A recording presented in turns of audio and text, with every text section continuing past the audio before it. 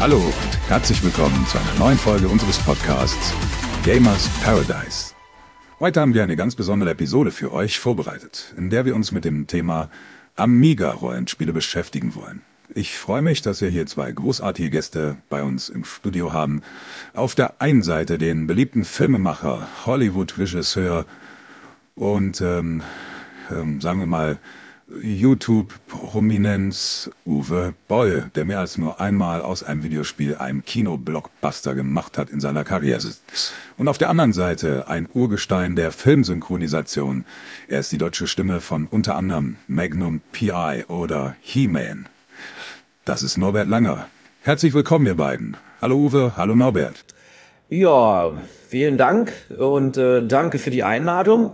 Ich bin wirklich gespannt, heute mit Norbert und mit dir über die guten alten Amiga-Rollenspiele zu plaudern. Wobei ich gleich sagen muss, äh, ich habe damit gar nicht so viel zu tun. Das ist mich alles schon eine ganze Weile her und äh, am 5. Ich muss zugeben, ich mache lieber mein Geld mit schlechten Verfilmungen von irgendwelchen Computerspielen. Und äh, ein wenig habe ich natürlich früher auch auf dem Commodore 64 und dem Amiga gedaddelt, aber so wirklich ein Fan von diesen ganzen Spielen und diesen Rollenspielen, naja, bin ich jetzt nicht so.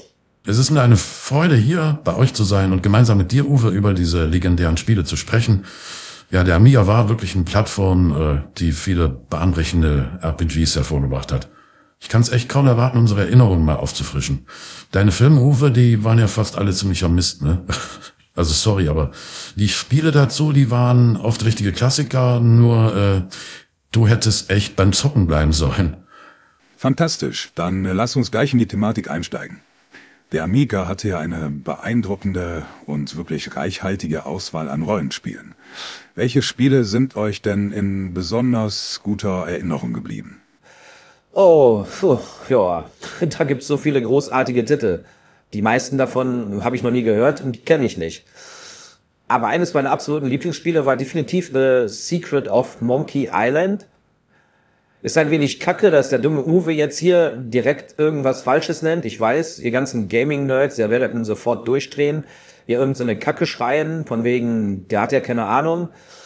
Ja, ist aber so und so bin ich eben. Also mir ist schon klar, dass, dass ich da gerade wohl kein Rollenspiel genannt habe, so wie das äh, so Gamer irgendwie klassisch sehen wollen, sondern so ein, äh, ja, wie nennt man das? Ja, so ein Spiel, so ein, so ein, so ein Abenteuerspiel.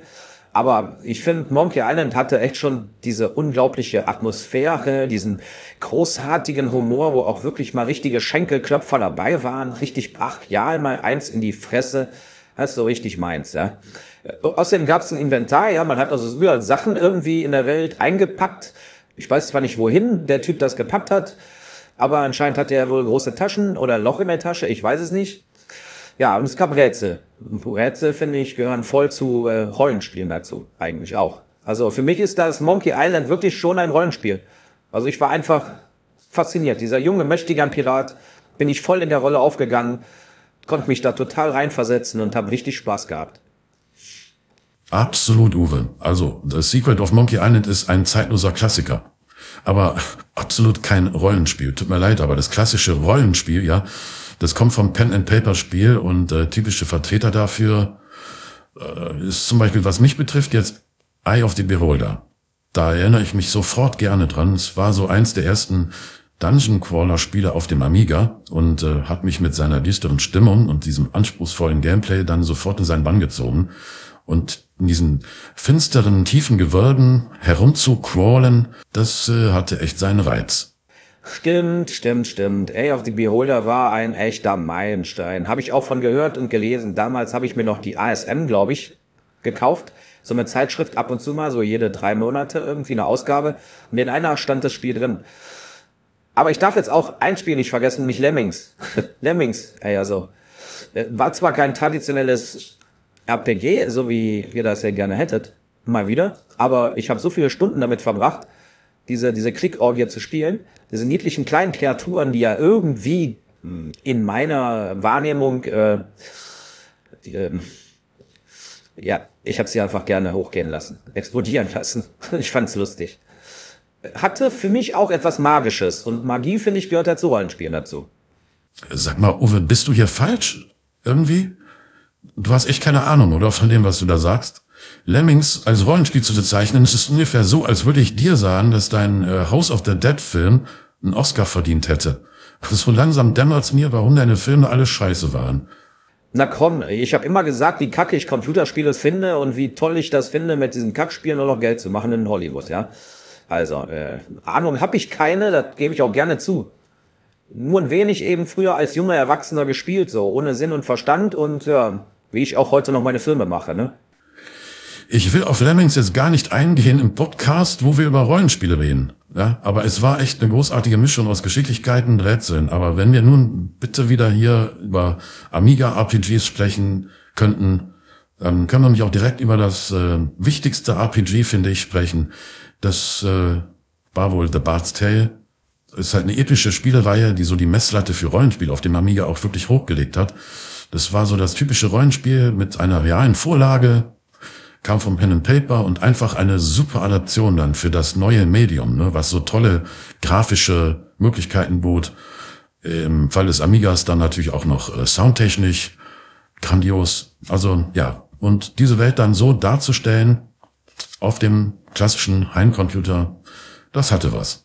Ja, mag sein, aber den Kram habe ich nie gespielt. War mir sowieso viel zu langweilig. Da habt ihr zwei bereits einige wirklich fantastische Spiele genannt. Aber äh, Uwe, du glänzt hier echt jetzt nicht gerade mit Fachwissen. Welches RPG auf dem Amiga würdet ihr denn so als euer absolutes Lieblingsspiel bezeichnen? Ja, für mich ist Ultima 5, The False Prophet, das absolute Highlight. Ähm, es war so ein unglaublich ambitioniertes Spiel für seine damalige Zeit.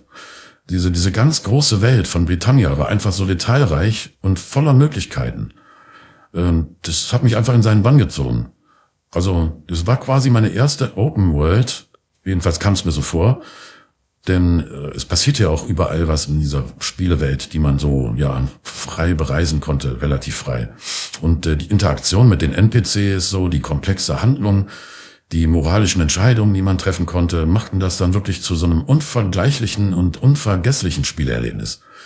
Ich war in dieser Welt und konnte gefühlt tun und lassen, was ich wollte, als der strahlende Held. Naja, Heute ist mir dann eben so klar geworden, äh, so strahlend war der Avatar gar nicht. Er war wohl gerade in dem Spiel wohl eher ein wenig äh, rassistisch unterwegs. Und so viele Möglichkeiten an sich, sich auszuleben in dieser Spielwelt hatte man nun auch nicht. Ne? Ja, aber es war eine andere Zeit und äh, es war eben noch kein modernes Skyrim. Ne?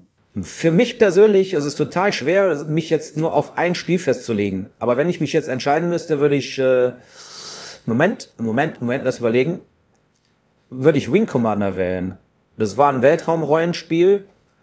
Also ich habe mich in die Rolle von so einem Piloten versetzt und dann hatte das irgendwie so eine packende Story. Okay, das meiste davon hat mich nicht interessiert. Äh, ich fand einfach diese Weltraumschlachten beeindruckend, die haben mich richtig umgehauen und das war richtig mein Stil. Ne? Reinsetzen, losfliegen, losballern. Hört das jetzt echt nicht mehr auf? Wirklich? Wing Commander ist ein Space Shooter mit schöner Story, aber kein Rollenspiel. Äh, hast du für Wing Commander 3 irgendwie Filmregie geführt? Nö, dann wäre das sicher ein gutes Spiel geworden. Mit beschissener Story und äh, grausamen Filmsequenzen. ich erkläre dir das dann mal, Uwe, ja? Hör mal zu. Also, in einem Rollenspiel steht die Entwicklung des Charakters und das Entscheiden über seine Handlungen im Vordergrund. Ja, klar, ich verstehe. Ich will dich auch nur ein wenig trollen. Mein Gott, ey. Aber ich bin mir sicher, dass ich äh, nicht der Einzige bin, der es bei Computerspielen Genres irgendwie schwierig findet, diese verschiedenen Genres auseinanderzuhalten. Also es fällt nur bei Filmen wäre schon schwer, aber da bei Spielen noch, noch viel, viel mehr. Das stimmt, Uwe, ja. Die Welt der Videospiele ist unglaublich vielfältig und die Grenzen zwischen den Genres können auch manchmal verschwimmen. Äh, aber lass uns lieber darüber sprechen, was ein richtiges Rollenspiel ausmacht. Denn im Kern geht es darum, so eine fiktive Rolle zu übernehmen und die Handlungen und Entscheidungen seines Charakters zu beeinflussen. Verstehe, das macht auch Sinn. Also sind die Rollenspiele auf dem Amiga eher Spiele wie ähm, Ultima 5, äh, The False Prophet oder The Bard's Tale oder so. Also Spiele, bei denen es eine offene Spielwelt gibt, mit, äh, also in denen man mit seinem Charakter sich bewegt und kämpft, Erfahrungspunkte bekommt und damit seine Fähigkeiten weiterentwickelt und vorantreibt. Genau, Spiele wie Ultima 5 oder The Bard's Tale gehören definitiv zu den klassischen Rollenspielen auf dem Amiga. Äh, sie bieten halt eine große Spielwelt zum Erkunden, epische Geschichten, komplexe Charakterentwicklung, ja, und auch auf die Möglichkeit, moralische Entscheidungen zu treffen, um die Spielgeschichte ein wenig zu beeinflussen. Ja, das klingt alles nach einer Menge Spaß, nur eben nicht wirklich für mich. Da lobe ich mir wirklich Diablo. Ist ja gerade ausgekommen, wieder der vierte Teil oder sowas.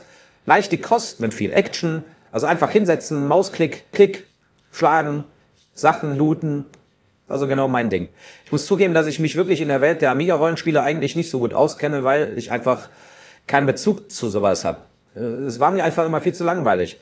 Aber ich bin natürlich immer offen für neue Erfahrungen und werde auch definitiv einige davon ausprobieren. Äh, vielleicht gibt es auch eine Marke, so alte Spielemarke, die ich irgendwie noch neu schlecht verfilmen kann.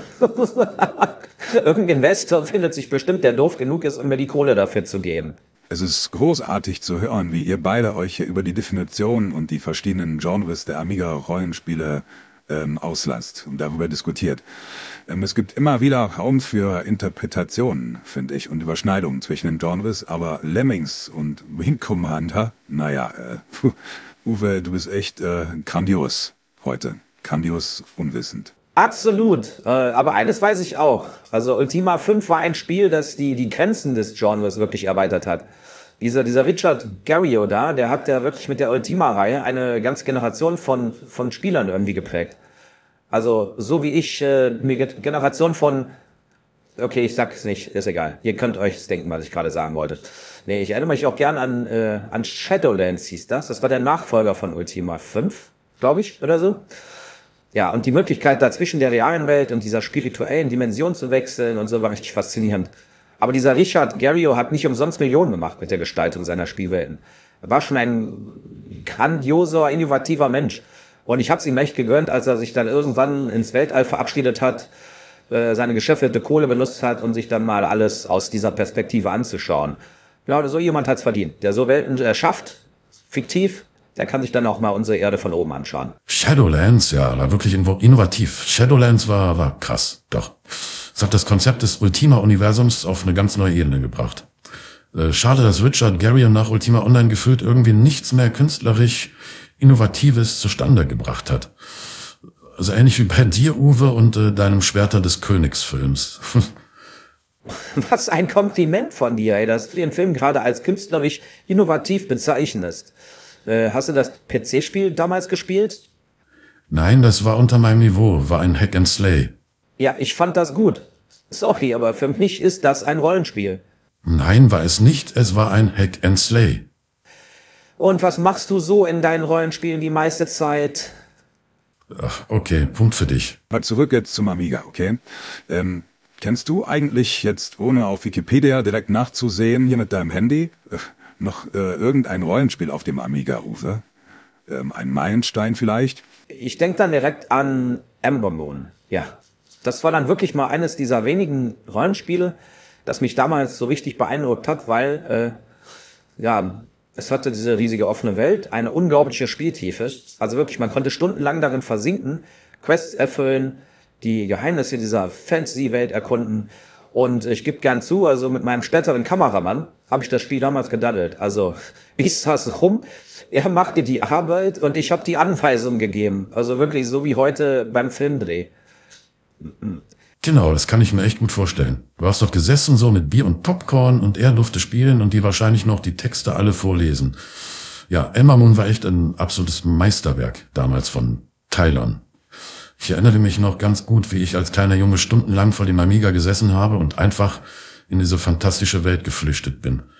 Ja, das war echt was, was ganz Besonderes. Doch. Ja, besonders angenehm für mich. Ich habe das schwerste Rätsel allein lösen können.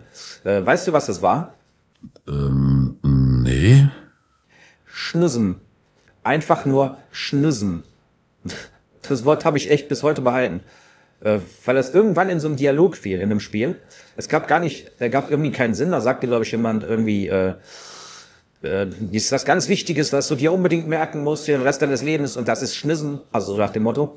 Ja, ich habe es mir gemerkt und irgendwann später gegen Ende des Spiels, dann musste man tatsächlich dieses Wort sagen, also auch eintippen, ne, nicht einfach mal anklicken aus drei Möglichkeiten. Und äh, dann erst ging es weiter, dann hat sich eine Tür oder so geöffnet. Ja. Also man merkt, äh, an Schwachsinn erinnerte mich, mich immer noch am besten. So wie an Lemmings, das beste Rollenspiel auf dem Amiga. Und diesen Schwachsinn habe ich echt nie vergessen, weil ich hier mein Kameramann bin, der, der, der auch niemals weitergekommen mit dem Spiel, wenn ich es ihm nicht gesagt hätte. Ja. Ja, ich unterbreche mal schnell, weil sonst gibt es ja wirklich gleich Streit zwischen euch. Also, es ist wirklich faszinierend, wie diese Spiele auf dem Amiga eine ganze Generation von uns Spielern beeinflusst haben. Die äh, Liebe zum Detail, die epischen Geschichten und diese spielerischen Möglichkeiten haben wirklich viele RPGs zu wahren Klassikern gemacht. Absolut. Und äh, wenn die Grafik, die technischen Möglichkeiten im Vergleich zu heutigen Spielen auch nur begrenzt waren, ne, hatte dieser Amiga mit seinen Rollenspielen wirklich eine Seele. Also viele Spiele haben für mich heute überhaupt keine Seele, darum interessiere ich mich auch für diesen Rocks gar nicht mehr so. Aber damals, ja. Das, äh, ich denke, viele Sachen haben dann schon viele Spieler irgendwie auf eine einzigartige Weise auch bewirrt.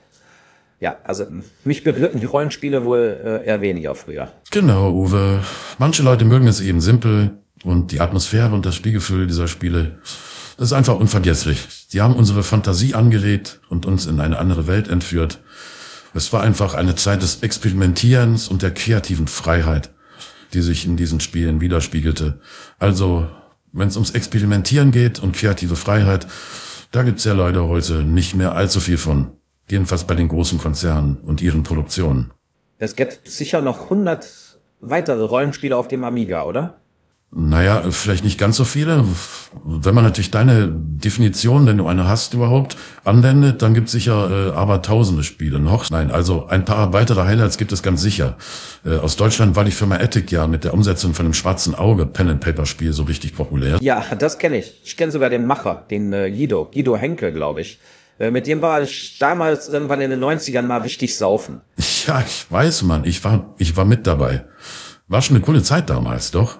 Ich danke euch beiden für diese spannenden Einblicke in die Welt der Amiga-Rollenspiele. Es war wirklich eine Zeit voller Innovation und unvergesslicher Spieleerinnerungen. Vielen Dank für diesen Podcast. Und äh, ich bin sicher, dass viele unserer Hörer nun Lust bekommen haben, sich diese Klassiker noch einmal anzuschauen oder sie vielleicht tatsächlich zum ersten Mal zu entdecken. Jo, es lohnt sich wirklich, diese Spiele zu erkunden und ihre einzigartige Magie zu erleben. Also wenn ich Zeit hätte und auch Bock drauf, würde ich nun sofort anfangen und loszocken. Ne? Aber ich habe beides leider gerade nicht. Die Amiga-Rollenspiele haben wirklich einen großen Einfluss auf die Gaming-Branche gehabt. Die verdienen es einfach in Erinnerung zu bleiben. Sollte man heute viele Dinge noch einfach nochmal spielen und sich dran erinnern.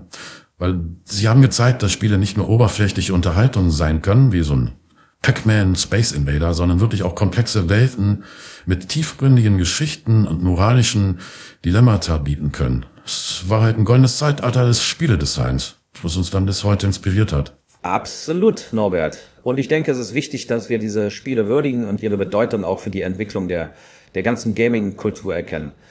Die äh, Amiga-Rollenspiele haben echt den Weg geebnet für das, was wir heute so in unserem äh, RPG-Genre haben. Also ohne deinem Ultima auf dem Amiga zum Beispiel gäbe es wahrscheinlich heute auch kein Skyrim oder so. Auf dem PC, auf der Xbox, auf dieser Playstation, auf dieser Nintendo und den ganzen anderen tausend Sachen. Und auf dem Tablet. Gibt es das Spiel auf dem Tablet? Nee, ich glaube nicht. Ich danke euch beiden für eure wertvollen Einblicke und Erinnerungen. Ähm, war mal wieder eine Freude natürlich, wie immer, mit euch über dieses faszinierende Thema zu sprechen. Vielen Dank, dass wir dabei sein durften. Ja, war eine tolle Gelegenheit dann mal äh, meine Unwissenheit äh, preiszugeben. Und unsere beziehungsweise deine Leidenschaft für die Amiga-Rollenspiele zu teilen, Norbert. Dem schließe ich mich gerne an. Es war ein Vergnügen, mit euch beiden zu plaudern. Äh, ich hoffe, dass wir dann die Hörer dazu ermutigt haben, sich mal in die Welt der Amiga-Rollenspiele ein bisschen zu vertiefen und die zeitlosen Klassiker nochmal zu entdecken und zu spielen. Spielt mal eine Runde Wing Commander, war auch ein geiles Spiel, mit auch kein Rollenspiel. Ja, sag ich doch, sag ich doch. Nun gut, an unsere Hörer da draußen, vielen Dank, dass ihr zugehört habt und äh, wir hoffen, dass euch diese Episode von Gamers Paradise gefallen hat. Schaut unbedingt mal wieder auf unserem YouTube-Kanal vorbei, um noch mehr spannende Inhalte rund um das Thema Gaming zu entdecken. Bis zum nächsten Mal. Gut, auf Wiedersehen. Ciao, auf Wiedersehen. Tschüss.